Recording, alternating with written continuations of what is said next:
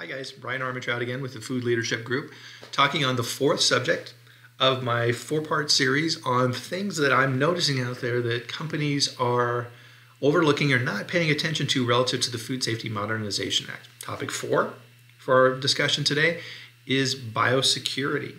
Now, really, this is expanded within the definition of what FDA is looking for under FSMA, and they're calling it food defense which means they're looking for more than just what are you doing to secure your facility walls, fences, doors, employee screening, and things of this nature. What are you actively doing within your systems to make sure that if someone is deliberately trying to harm your products and therefore our consumers, how can you take active steps to mitigate that disgruntled person?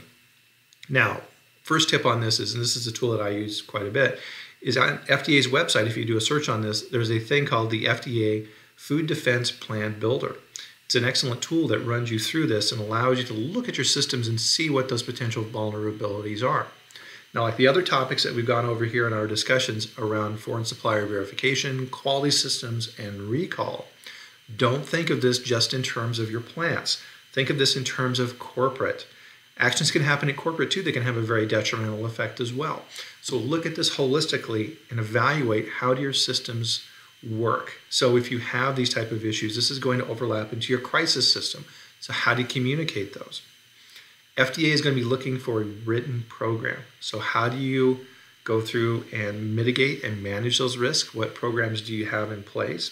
Once again, Plan, Do, Check, Act is a very valuable tool of how you need to look at these things. So what's your plan? How do you evaluate it? How do you correct issues when you find them? And how do you reassess that when changes have happened within your systems? So FDA is going to want to review that program. Keep in mind, once again, anything that falls within the scope of your Food Safety Modernization Act HARP-C compliance plan, your preventive controls, is fair game for FDA to look at under the law. And they can take it with them. So write these programs in a way that don't reveal things within your plan so that you would consider proprietary. Because these things under the Freedom of Information Act could potentially become available to the general market and that defeats the entire purpose of having a food defense plan. So create this thing in such a way where you have a generic system that can be shared, that gives the overview of how you do things, and then more confidential details. Once you explain this to FDA, they will respect that and they will not undermine your program by putting this information out there and putting your company at risk.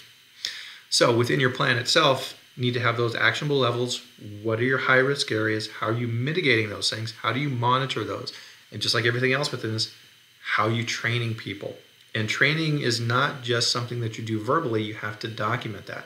And that's an important thing with Food Safety Modernization Act overall, is if you didn't document it, and I'm sure you've heard this from other people too, if you didn't document it, you didn't do it.